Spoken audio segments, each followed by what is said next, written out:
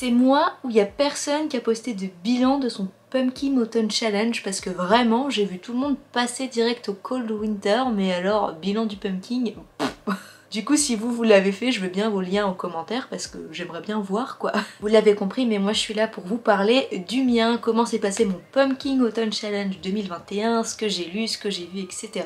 Parce que oui, j'ai aussi inclus des films et des séries. Vous allez voir que j'ai surtout lu du graphique, vous le savez maintenant, mais je suis libraire SPBD, faut que je lise plein de BD, patati patata, j'ai moins de temps de lire des romans, j'y arrive moins bien qu'avant, vous l'avez compris, je vous l'ai dit 20 000 fois.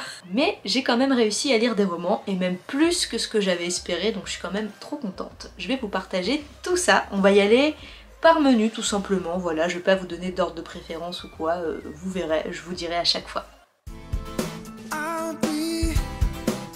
Pour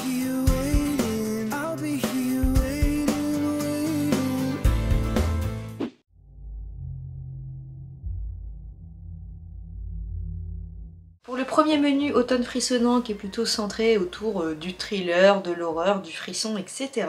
Dans la première catégorie, j'ai donc lu Sensor de Junji Ito, son nouveau titre. Et au niveau des films, j'avais prévu de voir la saison 4 de Elite, ou le film Get Out, ou le film Black Widow. Sur les trois, j'ai pu voir que Black Widow, mais je considère que si j'ai vu un de mes goals au moins, c'est que j'ai réussi mon menu. Pour ce qui est de Sensor, c'est le nouveau manga d'horreur de Junji Ito, le maître de l'horreur japonaise, peut-être que vous le connaissez au moins de nom. Il a fait notamment Tomie, Spiral et d'autres grands classiques que j'aime beaucoup. Je dois avouer que Sensor, c'est clairement pas son meilleur, c'est sympathique à lire, il y a une petite, petite vibe Midsommar dedans, enfin je sais pas, j'ai trouvé. Est-ce que je le relirai pourtant? Pas spécialement, en tout cas ce serait pas le premier que je prendrais de, de Junji. Et l'intrigue est pas si marquante que ça, on est aussi dans une horreur qui est moins dérangeante que d'habitude, un peu moins recherchée peut-être, parce que lui vraiment il a l'art pour te trouver des trucs d'horreur auxquels t'aurais pas pensé, qui sont dégueulasses ou malaisants, enfin bref. Même s'il y a quand même de l'idée, hein, je dis mais voilà, clairement si vous, vous avez jamais lu Junji Ito, commencez pas spécialement par Sensor parce que là vous n'allez pas avoir un bon aperçu de ce qu'il est capable de faire. Comme je vous l'ai dit, ça se lit quand même, c'est pas non plus une déception, enfin c'est une toute petite déception, mais c'était pas non plus nul quoi. Pour ce qui est de Black Widow en visionnage, eh bien moi j'ai beaucoup aimé. Je reconnais qu'il lui manque ce petit truc pour être vraiment marquant. Là j'aurais du mal à vous parler de l'intrigue. Elle m'a pas marqué plus que ça, je me souviens surtout bah, qu'on voit sa famille, notamment sa sœur. Mais j'ai beaucoup aimé le personnage qui est joué du coup par Florence Pugh que j'ai trouvé vraiment cool et c'est vraiment ce que j'ai retenu du film. Par contre niveau ambiance on était vraiment dans le film polar, espionnage. Je vous l'ai dit, c'est pas marquant, mais pour autant j'ai passé un bon moment en le voyant et j'étais contente d'en voir plus sur ce personnage que moi je trouve un petit peu sous-côté, même si tout le monde adore l'actrice, son personnage est un peu plus mis à l'écart et, et je sais pas, moi j'aime bien Black Widow, j'ai bien aimé savoir son histoire et vraiment, je reverrai le film quand même avec plaisir, voilà, juste parce qu'il a une bonne ambiance. Après c'est clairement pas dans mon top 10 des meilleurs Marvel, mais je l'ai quand même trouvé sympa. La deuxième sous-partie était plus centrée autour du théâtre ou de la tragédie, de la sorcellerie. Pour ma part, j'ai lu la BD Amelia Woods qui rentrait dans cette catégorie et au niveau des visionnages, et eh ben là du coup j'ai rien vu. J'avais prévu de revoir Double Jumelle, Double Problème, un film avec les jumelles Olsen quand elles étaient toutes petites que j'avais adoré mais j'ai pas eu le temps de le revoir et sinon je voulais voir le grimoire d'Arcandias pardon que j'ai pas pris le temps non plus. Donc j'ai loupé ma catégorie film-série mais j'ai quand même lu quelque chose. Moi c'était vraiment plutôt des bonus tout ce qui était visionnage. J'ai beaucoup apprécié Amelia Woods, je pense qu'en voyant la couverture, euh, si vous aimez tout ce qui est un peu 18e siècle, euh, Angleterre, un peu victorienne, voilà, ça va vous parler tout de suite. Donc on suit Amelia Woods qui est une jeune fille qui rêve de devenir ornithologue, donc euh, observer et apprendre des oiseaux. C'est quelqu'un d'assez rationnel et d'assez terre à terre et en fait elle décide d'emménager chez une amie de sa tante ou sa tante, je sais plus, qui vit dans une espèce de petite maison au bord de la plage en haut d'une colline. Elle sait que cette dame a la réputation d'être un petit peu une sorcière et qu'il se passe des choses dans ce manoir là mais comme je vous l'ai dit elle est plutôt rationnelle, elle pense que c'est des rumeurs et que c'est pas possible. Et elle va se rendre compte que petit à petit, peut-être qu'il se passe des choses dans ce manoir, peut-être que cette femme cache quelque chose et peut-être que c'est lié à sa propre famille, à elle, voilà, je ne vous en dis pas plus. C'est un tome 1, c'est super chouette, c'est quand même un petit peu flippant, du moins plus que ce que j'aurais pensé. J'aurais plus pensé qu'on était sur une BD, je sais pas, on va dire 9-10 ans, mais en fait je trouve c'est plus du 11-12 ans. C'est vraiment très subtil, je crois c'est vraiment mon esprit de libraire qui parle, mais je vous conseille vraiment cette BD si vous aimez ces ambiances-là et ces intrigues un peu mystères, fantastiques, surnaturelles, etc. La dernière sous-catégorie était consacrée aux créatures fantastiques, au surnaturel. D'ailleurs son titre renvoyait directement à une saga littéraire qui s'appelle L'épouvanteur. Et devinez quoi? J'ai lu L'épouvanteur, oui. J'ai eu la chance de le trouver près d'une boîte aux lettres de là où je travaillais avant en fait. Euh, les gens de l'immeuble laissaient des livres ou des choses à donner sur cette boîte aux lettres. Et un jour, j'ai trouvé les deux tomes, euh, les deux premiers tomes de l'épouvanteur bah du coup je me suis servi vu que c'était fait pour ça. Je comprends maintenant pourquoi certains la mettent au niveau de Harry Potter, Percy Jackson, etc. C'est, oui, c'est clairement digne de ces sagas, même si c'est quand même un peu plus flippant, attention. Entre 10 et 12 ans, je pense que c'est une pas immersion, une introduction parfaite euh, à la littérature euh, fantastique euh, pour ados, pré-ados. Franchement, c'était trop bien. C'était un espèce de The Witcher, vraiment, mais comme je vous l'ai dit, pour les plus jeunes quand même, et vraiment un régal, un régal, j'ai adoré, c'est passionnant. On parle de créatures surnaturelles, d'apprentissage, il y a des sorcières et tout, il y a d'autres créatures qui font plus ou moins flipper, il y a du mystère, des aventures, des péripéties, franchement c'est trop bien. Le personnage principal, franchement je le trouve super attachant. Pas dans le cliché du petit garçon naïf, voilà, qui connaît rien de la vie et qui va suivre l'épouvanteur aveuglément et le voir comme un héros. Mais on n'est pas non plus dans l'effet inverse avec un mec, euh, voilà, super fort qui est prêt à accepter son destin et qui est super courageux. On est vraiment dans l'entre-deux et en fait j'ai trouvé ça super humain. Autant il se rapproche quand même peut-être plutôt du jeune garçon un petit peu naïf et sensible, mais d'un autre côté, voilà, il a grandi avec des frères, donc oui, il sait se battre, il se laisse pas forcément impressionner aussi facilement. Et il a quand même un minimum de jugeote, et c'est ce que j'ai trouvé plutôt cool. J'ai beaucoup aimé ce personnage, l'épouvanteur, et je l'adore. C'est ce personnage, ben, c'est pour ça que je compare à The Witcher, parce que pour moi c'est clairement un Gérald bis, mais en plus âgé, et un peu mixé avec Gandalf, voilà. je suis désolée si vous n'avez pas les refs, mais je pense que c'est la meilleure description que je peux en faire. Vous allez voir ce personnage qui est pas forcément sympathique au premier abord, mais qui pourtant se révèle attachant au fur et à mesure, et on comprend que c'est quand même quelqu'un d'humain, enfin voilà, j'ai adoré l'épouvanteur, aussi bien le personnage que le roman, que tout ce qui se passe dans cette histoire. Donc clairement je vous recommande à 100% cette lecture. Niveau visionnage, alors à chaque fois quand je regarde par là, c'est parce que je regarde mon ordinateur, je pense que vous l'auriez compris. Euh, j'avais prévu de voir enfin The Outing of Hill House, mais pareil, j'ai pas pris le temps, j'ai pas regardé de série en fait cet automne, j'ai pas le temps, c'est tout. On passe au menu automne douceur de vivre maintenant, qui est mon petit menu chouchou. Dans celui-là, on avait 4 sous-catégories et la première était centrée un petit peu autour d'Halloween ou de l'automne. J'avais choisi pour celle-ci la BD Séance Tea Party. A chaque fois, je vous dis pas les auteurs, les éditeurs, machin, mais je vous mettrai la liste en barre d'infos si jamais ça vous intéresse. Et au niveau des visionnages, pareil, j'ai rien vu. J'avais prévu de revoir Hocus Pocus parce que j'adore ce film, mais j'ai pas pris le temps de le faire. Ou sinon, double jumelle, double problème, encore qui rentrait aussi dans cette catégorie. Mais j'ai vu aucun des deux mais j'ai seulement lu la BD qui a été vraiment une bonne petite surprise. Dedans vous suivez Laura qui est une jeune fille de 12 ou 13 ans, 12 ans, qui est un petit peu à l'écart dans le sens où elle a perdu de vue ses amis petit à petit, et elle a fini par se retrouver un petit peu seule dans son coin à l'écart des autres.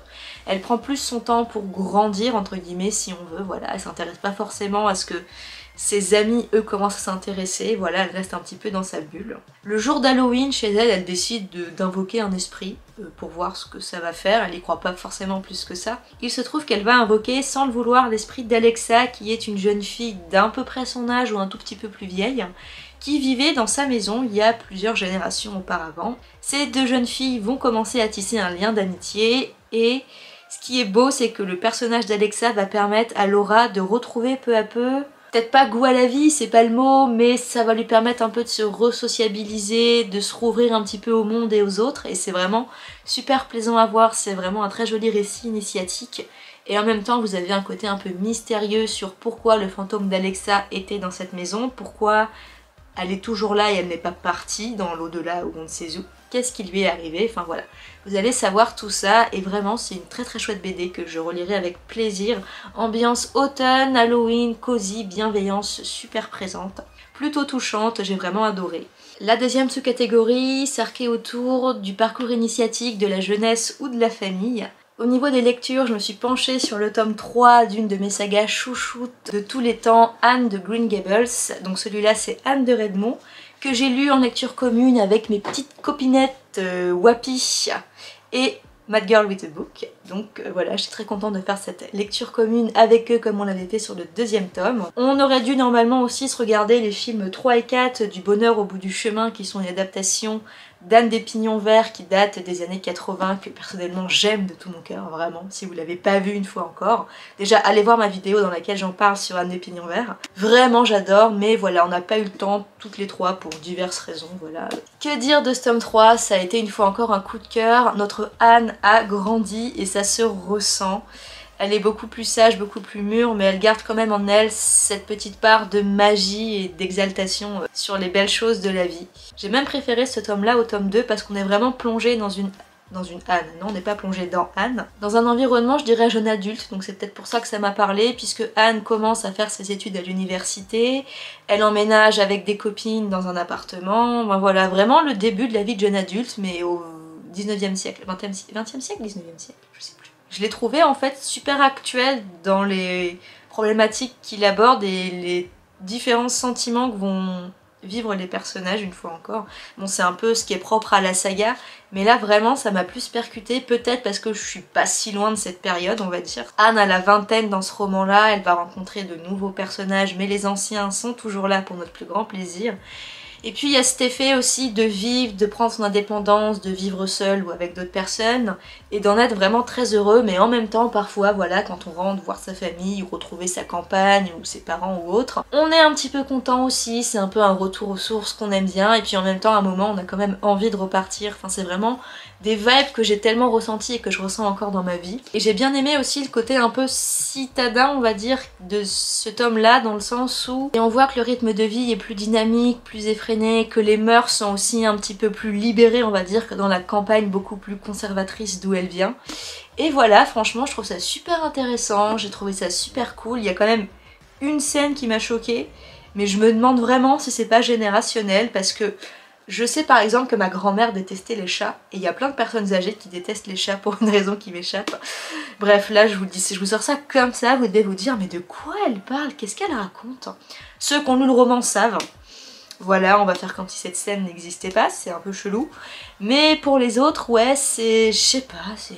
Euh, je sais pas quoi dire sur cette scène en fait.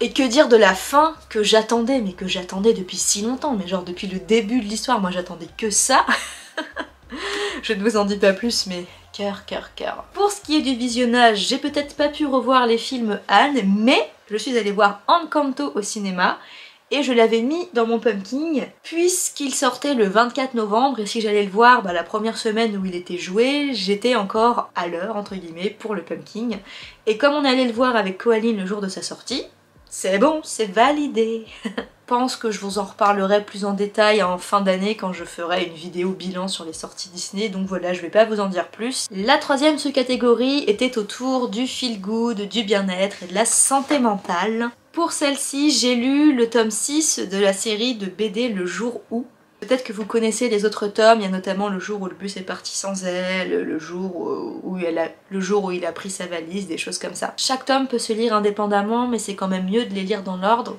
dans le sens où dans les tomes d'après vous retrouvez des personnages que vous avez rencontrés dans les tomes d'avant. Et à chaque tome en fait on s'arc autour d'une problématique ou d'un questionnement on va dire qui est développé notamment grâce au personnage d'Antoine, mais aussi chaque personnage apporte sa propre histoire pardon, et ses propres expériences, qui nous amène à nous questionner et à penser autour de cette thématique en nous racontant notamment des contes issus de la philosophie euh, zen. C'est jamais moralisateur, c'est jamais là à vous dire le bonheur c'est ça, il faut penser ça, il faut penser ça pour être bien. C'est toujours, ça invite toujours en fait à la réflexion personnelle et à réfléchir nous-mêmes à ce qui nous rend heureux et à ce qu'on pense en fait des choses. Donc c'est vraiment une saga développement personnel pour moi qui est hyper efficace et les personnages sont plutôt attachants. Je vous avoue que j'ai été moins marquée par ce tome 6, là je m'en rappelle plus très bien, je sais que ça parle du concept du bonheur, merci le titre. Mais voilà, je, je pense que c'est le deuxième tome de la série que j'ai le moins aimé, même s'il est quand même bien. Mais j'ai tellement adoré le tome 4 et le tome 5 qui m'ont beaucoup plus marqué. Celui-là est un peu plus anecdotique, mais j'ai quand même été contente de le lire. Au niveau des visionnages, pareil, c'est le néant. Je m'étais dit que si j'avais le temps, je regarderais enfin Gilmore Girls, vu que tout le monde en parle comme genre la série de l'automne qu'il faut voir en automne, le truc feel good par excellence. Et j'ai pas eu le temps, comme je vous l'ai dit, donc euh, je ne l'ai pas regardé. Est-ce que l'automne 2022 sera enfin la bonne? Je croise les doigts. Pour la dernière catégorie de ce menu, il fallait lire quelque chose soit humoristique, soit illustré, soit avec des personnages anthropomorphes. J'ai décidé de mettre dans cette catégorie Le Magicien d'Oz, qui m'a été généreusement offert par ma Wapi lors de notre challenge de l'amitié littéraire, qui d'ailleurs n'est pas terminé à ce jour, mais on arrive bientôt au bout, ça y est, puisque c'était toute l'année 2021. Ah, que dire déjà, il est fabuleux, je pense que je vous ferai des close-ups sur les illustrations, mais il est trop beau, je l'adore, en même temps illustré par Benjamin Lacombe, que voulez-vous?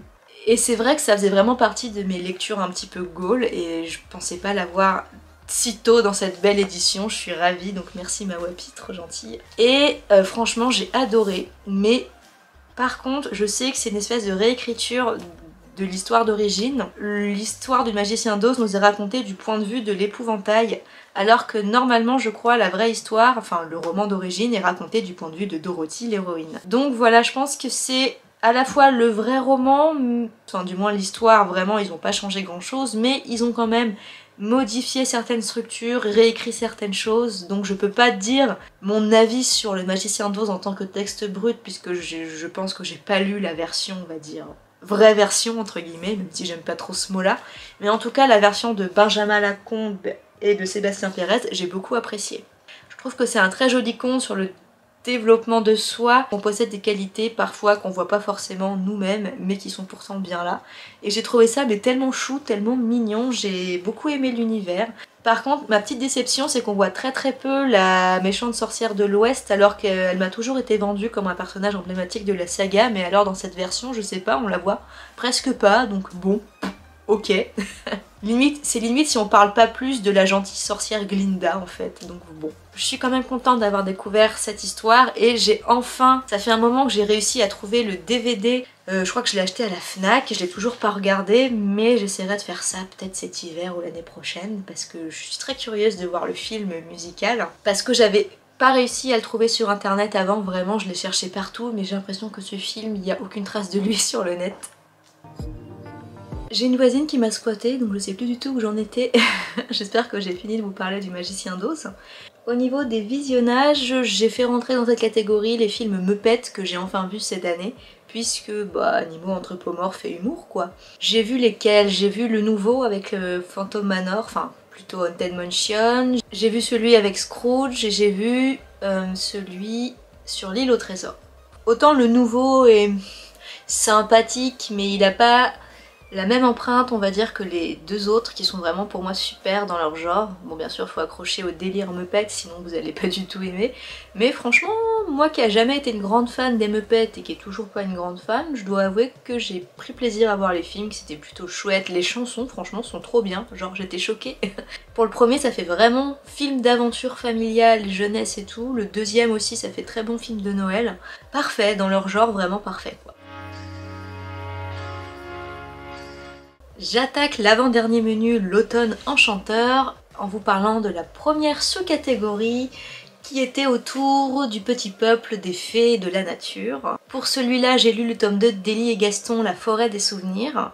Et niveau visionnage, je n'ai rien vu. J'avais prévu de voir Ella Enchanted avec On the Way que j'ai jamais vu. Mais j'ai pas eu le temps. j'ai bien aimé ce tome 2 d'Elie et Gaston, même si je préfère quand même le tome 1 que je trouve plus attachant avec une intrigue un peu plus marquante, même si on reste sur une saga vraiment jeunesse, on va dire entre 8 et 11 ans. Le tome 2, je l'ai trouvé sympa, c'est toujours aussi beau visuellement, ça j'adore, euh, voilà, j'adore surtout l'univers graphique de, cette série. Les personnages sont toujours aussi mignons, après l'intrigue est beaucoup plus anecdotique et j'en ai pas retiré grand chose, voilà. La deuxième sous-catégorie c'est Nom d'une dune, et là c'était plutôt autour de la science-fiction, de l'anticipation et de l'écologie. Au niveau de ma lecture, j'ai lu une BD qui s'appelle Renaissance, et c'était le premier tome, et j'ai aussi commencé le roman Dune que j'ai dans l'édition collector. Au niveau des visionnages, eh ben, je suis allée voir le film Dune et j'avais prévu de compter Doctor Who dans cette euh, catégorie si jamais j'arrivais à continuer la série. Je suis très très très très très lente dans mon visionnage. J'ai réussi à voir deux épisodes, je crois, cet automne. Le film Dune, j'ai adoré. Je... Enfin, adoré. Si, j'ai adoré. J'ai beaucoup aimé, j'ai adoré, je sais pas trop, mais ouais, en fait, j'ai trouvé que l'ambiance était géniale. Visuellement, je l'ai vu au cinéma, c'était impressionnant.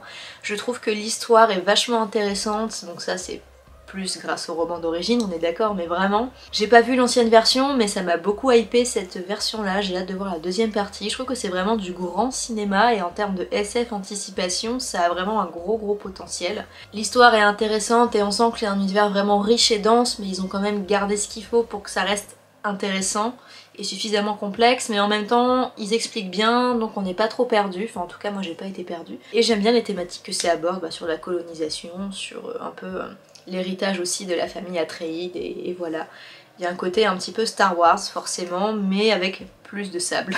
Pour Renaissance là on est sur une BD dans laquelle euh, les extraterrestres viennent nous envahir mais ils viennent nous envahir pour nous aider parce qu'ils voient un peu la merde qu'on fait à la Terre, ils voient un petit peu qu'on fonce droit dans le mur, et, en fait ils viennent pour nous porter, euh, pour nous apporter bah, leur savoir, leur technologie, voilà. Évidemment il y a des terriens qui sont favorables à ça et qui sont vachement contents, et puis bien sûr, l'humain étant ce qu'il est, il y en a qui sont quand même pas contents et qui ont peur et qui les trouvent menaçants, enfin voilà. Je sais pas comment ça va tourner puisque j'ai lu que le tome 1, mais franchement j'ai trouvé que le concept était super intéressant et pour le coup un peu original. Je me permets de vous montrer le roman d'une parce que franchement, la beauté quoi, regardez-moi ces reflets, qu'est-ce qu'il est magnifique. Pour avoir lu, j'ai lu quoi? J'ai lu... J'ai lu 97 pages sur environ 700. C'est pas beaucoup, mais c'est déjà ça. Et j'ai redouté un peu cette lecture parce qu'on m'avait beaucoup dit que c'était un texte vachement riche, vachement dense et plutôt compliqué. Et en fait, bah, je trouve pas du tout. Au contraire, je trouve que le texte est d'une grande fluidité, que c'est... Euh, bien sûr, ça reste dense et complexe, mais la manière dont c'est écrit, en tout cas le style d'écriture, bah, ça l'est pas. C'est vraiment un style d'écriture qui est entraînant, qui est addictif, et je le trouve pas compliqué, moi, personnellement. Après, il a été retraduit, donc est-ce que ça a été fluidifié par rapport à, d'anciennes traductions, ça je ne sais pas, mais en tout cas cette version là je la trouve vraiment cool et ce que je redoutais le plus vraiment c'était ça et finalement ça me permet d'être vraiment dans l'intrigue et dans l'univers et vraiment j'adore, je prends mon pied. Pour la dernière sous-catégorie qui était centrée autour euh, de la communauté LGBTQIA+, de l'inclusivité, de la diversité machin, le cercle du Dragonté et le festival du Dragonté. C'est tout doux, c'est tout bienveillant, graphiquement je trouve ça super. J'adore l'univers, les petits dragontés sont trop trop choux.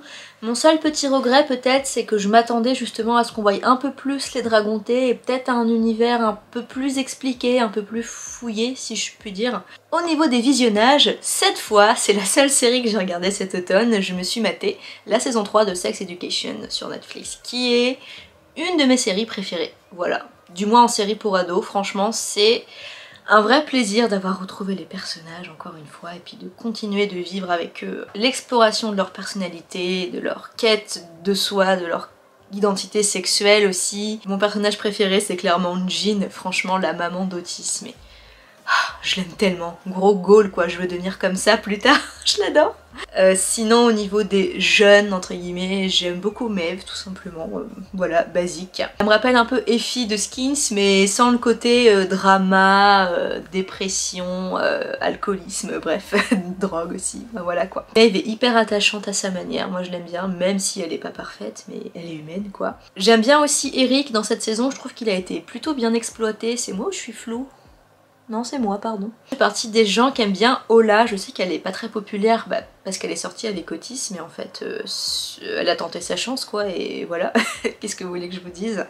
Moi, je l'aime bien, je la trouve super cool, même si, une fois encore, bah, elle est pas parfaite, mais personne dans la série est parfait, clairement. Par contre, moi, je suis pas très fan de Ruby, je sais qu'elle a beaucoup de succès. Franchement, moi, c'est pas un perso qui me plaît, je sais pas, j'aime pas trop son caractère en fait et ses valeurs on va dire. Et j'ai eu quand même de l'empathie pour elle quand on voit un peu son cadre familial, mais ça reste un personnage pour moi qui est pas hyper développé par rapport à d'autres et qui est franchement pas agréable quand même. Moi j'arrive pas trop à l'aimer, je suis désolée.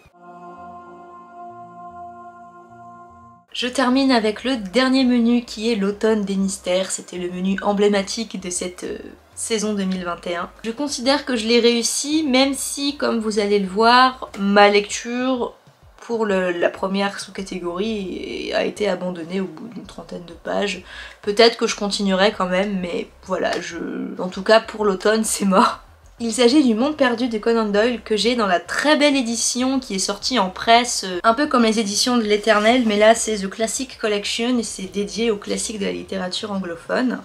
Regardez-moi comment il est beau, franchement. Euh, Quand j'ai vu qu'il existait, j'ai voulu l'acheter tout de suite parce qu'en plus c'était vraiment celui-là que j'avais prévu d'avance de mettre dans mon, dans mon pumpkin puisqu'il fallait lire dans cette thématique une histoire autour d'énigmes, de puzzles, historiques, steampunk, euh, le temps. J'ai grandi avec le dessin animé qui s'appelle Le Monde Perdu, qui était basé sur euh, les romans de Conan Doyle, et j'étais ultra fan, ça reste encore un de mes dessins animés préférés. Du coup j'avais envie de découvrir le texte d'origine qui j'avais l'impression était quand même vachement différent et s'apparente plus à Jurassic Park à la limite. Euh, bon déjà le premier chapitre je l'ai trouvé plutôt sexiste. C'est que le premier chapitre, après on va passer à autre chose, c'était vraiment l'introduction de l'histoire. J'ai lu la suite et là ce qui m'a gêné pour le coup c'est la traduction. Il y a, ça m'a fait un peu comme ça m'a ravivé le trauma que j'avais eu avec la Dupree de Guenièvre chez De Sexus. Même si c'est quand même beaucoup mieux dans le monde perdu, attention.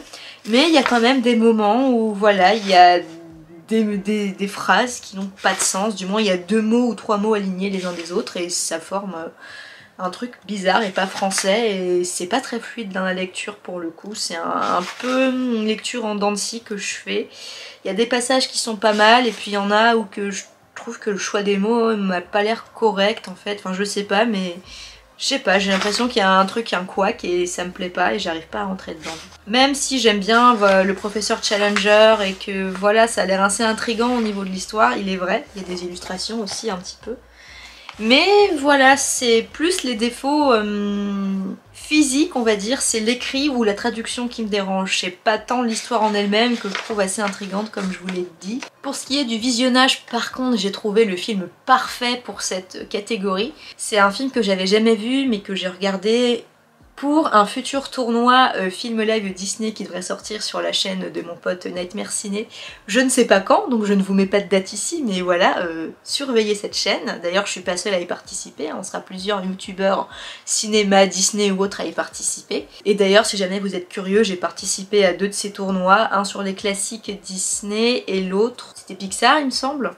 Donc voilà, je vous les mettrai en barre d'infos si vous voulez aller voir euh, mes votes. J'ai regardé les Benjamin Gates, enfin le premier, j'ai pas encore vu le 2, que j'avais jamais vu, qui m'avait jamais forcément tenté plus que ça. Et là, oh, mais j'ai adoré, c'était trop bien, genre gros coup de cœur, c'est pour moi un des meilleurs films live faits par Disney, vraiment. Au niveau de l'histoire, alors on suit euh, des sortes deux sortes d'explorateurs. Ben, Benjamin Gates, je crois qu'il est héritier d'une famille, euh, un peu comme Indiana Jones en fait, le début, mais version contemporaine. Il est héritier d'une famille dans laquelle il y a une histoire de trésors enfouis, machin, de, il y a des générations auparavant, et en fait tout les prédécesseurs ont essayé de retrouver ce trésor, mais personne n'a jamais réussi. Benjamin Gates, c'est un des derniers des années après qui est encore en train de chercher, mais tout le monde dans sa famille lui dit qu'il est fou, qu'il devrait abandonner son projet, que c'est n'importe quoi cette histoire, c'est une légende. Euh, je sais plus trop comment ça se passe, mais il va trouver une nouvelle clé de l'énigme pour ce trésor.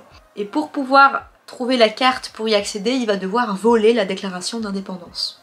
Oui, la déclaration d'indépendance des États-Unis, le document d'origine. voilà, rien que ça. Et pour ce faire, bah, il va être accompagné d'un de ses acolytes de toujours et euh, d'une nana qui, qui, est arrivée dans l'histoire au début et qui est plutôt chouette aussi. Non mais vraiment, je vous l'ai dit, c'est Indiana Jones, mais sans le côté machisme sexiste qu'il y a dans Indiana Jones que je déteste, et version moderne. Et vraiment, c'était passionnant, mais j'ai adoré, c'est une vraie aventure, on est dedans, mais vraiment à fond. Je vivais cette aventure avec eux, et les personnages sont trop attachants, vraiment j'ai adoré. Il y a un côté un petit peu adulte dans ce film, c'est ça que j'ai bien aimé. Et ouais, c'est un vrai vrai film d'aventure, pile dans la thématique euh, énigme, mystère, horloge, temps, steampunk, même si c'est pas vraiment steampunk, mais, mais voilà quoi, c'est... J'ai vraiment kiffé Benjamin Gates, et du coup faudrait que je vois le 2 parce que vraiment, j'ai adoré, je pense qu'on a compris, c'est bon. La deuxième sous-catégorie, c'était autour de contes moral, récits métaphoriques, philosophie, mythes, légendes. J'avais prévu de lire peut-être Héros de l'Olympe, la suite de Percy Jackson si j'avais le temps, mais je n'ai pas eu le temps. Heureusement, le Magicien d'Oz rentrait aussi dans cette catégorie, du coup bah, je l'ai mis dans deux catégories. Mais j'avais aussi mis le tome 10 de Noragami que j'étais presque sûre d'acheter cet automne. Donc si vous ne connaissez pas, c'est une série shonen qui fait partie de mes shonen préférés autour euh, du folklore japonais, voilà, avec des déités qui sont incarnées euh, par des personnages. Je vous retrouve quelques heures après, puisque ma batterie m'a lâché. Je parlais donc de Noragami, ça je me souviens, et je vous disais que c'était un de mes shonen favoris. et que ça parlait du folklore japonais tout simplement avec les dieux qui sont représentés sous forme humaine et voilà et j'ai pas trop envie de vous en dire là sur cette saga parce que c'est tellement riche. Oh c'est beau les dessins, regardez. L'univers est tellement cool, tellement riche et, super à découvrir en fait, j'adore. Et c'est un shonen qui arrive à, qui a trouvé en fait l'équilibre parfait entre action et émotion. Et c'est un de mes shonen préférés comme je vous l'ai dit. Les personnages principaux sont ultra attachants, le folklore, la manière dont il est développé, c'est vraiment hyper prenant. Et voilà, on manque pas d'action, d'humour, d'émotion, d'idées intéressantes. Et voilà, c'est j'adore. Regardez, petite première page, peut-être un peu trop lumineux d'ailleurs.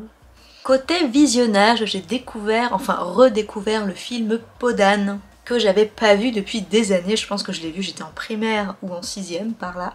J'ai bien aimé. En tant qu'adaptation de conte, franchement, c'était hyper respectueux. Les décors, les costumes surtout étaient juste somptueux. Euh, les acteurs étaient pas mal, franchement, et oui, ça a bien repris l'histoire. Après, bah, c'est hyper kitsch et la morale est très très très très discutable. Mais bon, c'est adapté du conte de base, donc bref. J'arrive au dernier menu qui mettait en avant l'archéologie, les voyages, les artefacts et compagnie. Pour celui-là, j'ai réussi à lire le roman Shade of Magic de V. Schwab. Je pense que vous le connaissez au moins de nom, c'est une saga qui a beaucoup tourné. Autant il y a des séries hyper populaires comme Un palais d'épines et de roses ou encore Grisha qui me passent complètement au-dessus, mais là pour le coup, j'avoue que je suis dans la hype. J'ai beaucoup apprécié l'univers, les personnages principaux sont tous les deux complexe, ni tout blanc ni tout noir et ils forment en même temps un super duo. L'univers est super prenant et surtout c'est super bien découpé, il y a plusieurs chapitres, plusieurs parties, du coup c'est hyper dynamique à lire. Malgré la grosseur, il se lit hyper rapidement et une fois qu'on est dedans c'est difficile de s'arrêter. Donc franchement je lirai la suite, peut-être pas tout de suite mais c'est possible que dès l'année prochaine je m'y mette, en tout cas j'ai beaucoup aimé. J'ai aussi lu le manga Secret of Magical Stone, le tome 1 qui parlait d'une jeune fille qui veut devenir enfin qui veut travailler dans le ministère des pierres précieuses puisqu'elle est passionnée de pierres précieuses et qu'elle s'y connaît un petit peu, voilà. Visuellement je trouve ça très chou, j'aime beaucoup. J'avoue qu'au niveau de l'intrigue et des personnages c'est assez gentillé, vraiment le traitement est pas... C'est un peu trop nounours en fait je dirais, on développe pas assez l'univers et ce qu'il peut y avoir derrière et les personnages sont un peu trop lisses donc moi il m'a manqué quelque chose. Mais oui c'est vrai que je m'attendais quand même à un petit peu mieux et que je suis un peu déçue. Je, je dirais peut-être le 2 par curiosité mais c'est vraiment pas sûr. J'ai pu voir Jingle Cruise, là on est purement dans l'aventure, euh, un peu chasse au trésor, quête dans la jungle. Voyage, archéologie, artefact, franchement tout y était quoi. Euh, c'est une exploratrice qui, euh, je m'en rappelle plus très bien, elle part à la recherche de je ne sais plus quoi et elle va tomber sur un mec dans la jungle qui dirige l'espèce de bateau là et au début elle lui demande de l'emmener à l'endroit où il est censé y avoir le trésor qu'elle recherche. Non je crois qu'elle recherche une pétale, oui c'est ça, c'est une espèce de pétale qui permettrait de guérir les, blessures ou d'accorder la vie éternelle, je sais plus trop. Je crois qu'elle est médecin justement, je sais plus très bien, je dis peut-être des bêtises. Et bref, ils vont, ils vont embarquer tous les deux, ce qu'elle ne sait pas trop dès le début c'est que le personnage principal c'est un peu... Bon déjà il est joué par Dwayne Johnson et vous voyez Maui dans Vaiana, bah, c'est un peu le même personnage. C'est un duo assez complémentaire qui fonctionne pas mal. Je suis un peu dubitative sur ce qui a été amené sur la fin. Je trouve le film plutôt sympa à regarder, c'est distrayant, mais là aussi je trouve que c'est assez gentillet, trop classique, même s'il y a quelques petites idées par-ci par-là plutôt cool. Euh, il m'a pas vraiment marqué ce visionnage, c'est pas un film que je garderai en mémoire très longtemps. Il y a que vraiment les acteurs, euh, bah, Emily Blunt c'est une actrice que j'aime beaucoup perso, et Dwayne Johnson aussi il se débrouille pas mal, donc voilà c'est plutôt ça surtout que je retiens de ce film, et quelques décors par-ci par-là. Mais sinon, euh, histoire, personnage et univers, on va dire que bon. Je termine avec la dernière sous-catégorie autour du cabinet de curiosité, des étrangetés, des singularités, ou alors des arts, des sciences et des musées poussiéreux. J'ai continué la série Blue Period dans le thème de l'art, j'ai lu les tomes 3 à 5 et c'est clairement une série qui se bonifie tome en tome, c'est toujours aussi bien que le premier, ils continuent de développer les personnages, leur parcours artistique et il y a toujours quelques planches qui sont assez marquantes. Et des personnages secondaires qui s'intensifient, qui prennent de plus en plus d'importance. Franchement j'ai l'impression que chaque tome aborde un espèce de sujet différent tout en restant dans l'art. En fait, ils mettent en avant à chaque fois des thématiques un peu secondaires et ça marche toujours très bien. Il y a peut-être un tome que j'ai trouvé un peu en dessous, je sais plus si c'est le 2 ou le 3, mais globalement sur 5, c'est un sans faute. Il me tarde de lire le 6. Pour moi, on tient clairement une des meilleures séries de 2021. J'ai aussi continué les cahiers de l'apothicaire avec le tome 5 et le tome 6 Là c'est pareil, depuis le tome 1 c'est très bien, et ça continue à l'être, franchement chaque tome apporte des petits éléments en plus, les personnages sont toujours aussi intéressants, aussi touchants, notamment Mao Mao qui est une héroïne absolument extraordinaire, je l'adore et elle perd pas du poil de la bête on va dire. J'avais un peu peur que ça devienne un peu moins bien après la fin de l'adaptation du, du roman en fait sur lequel le manga se base, mais en fait je trouve que l'autrice a très bien rebondi et que c'est toujours aussi pertinent. Ce qui en fait clairement une de mes séries préférées de 2021 là aussi. Et niveau visionnage, j'ai regardé Le Bal des Folles sur Amazon Prime qui m'a beaucoup plu, ma foi, pour un film français. Je dis ça parce que voilà, le cinéma français, vous-même vous savez. Après, je sais qu'il y a des bons films, mais voilà, j'ai pas une très très grande culture et on va dire que le peu que je vois surmédiatisé, ça me vend clairement pas du rêve. Mais Le Bal des Folles était vraiment pas mal pour le coup. Bon, il y a quelques passages aussi un peu surjoués, mais dans l'ensemble, franchement, c'était plutôt cool. L'ambiance était réussie, les décors aussi. Et voilà, c'est une bonne histoire. Moi, ce que j'ai bien aimé dans cette histoire par rapport à la BD adaptée que j'ai lue, j'ai pas lu le roman, c'est que dans la version BD en fait l'héroïne voit des fantômes et vous les voyez avec elle, tandis que dans le film on voit jamais les fantômes, ça reste suggéré et du coup le doute est permis si on peut dire. L'héroïne c'est une Melinda Gordon version française. J'exagère un peu, mais franchement, ouais, c'était euh, un bon film français, je vous dis. Franchement, n'hésitez pas à le regarder à l'occasion, c'était super cool. Ça parle un peu du rapport qu'on a à la folie et qu'est-ce qu'on considère finalement comme de la folie, de la place de la femme, bien sûr, à la société, du fait qu'on était enfermés euh, absolument pour euh, n'importe quelle raison. Tant que les hommes avaient envie de nous enfermer, il y avait toujours moyen. Et ouais, c'est assez pertinent, et puis les personnages sont plutôt touchants. Ça y est, j'ai fini Je sais pas si vous me voyez bien parce que je vois pas très bien mon écran, il est caché derrière la ring light. J'espère que la luminosité était assez suffisante, assez suffisante il est temps d'aller se coucher. Je vous laisse ici, j'espère que ce bilan vous a plu, qui vous a donné peut-être des petites envies de lecture, et je vous le rappelle aussi, n'hésitez pas à m'envoyer vos bilans du pumpkin si vous en avez fait, que ce soit sur YouTube ou ailleurs, hein, mais voilà, j'ai vu aucun bilan tourner, donc je serais curieuse de voir ça. je souhaite un bon Cold Winter Challenge à ceux qui vont le faire, moi je le fais pas déjà parce que de base je suis pas très challenge, je crois que le pumpkin c'est le seul que je fais, et euh, que j'aime pas l'hiver. voilà Gros bisous et j'espère que je vous retrouve très bientôt pour de prochaines vidéos.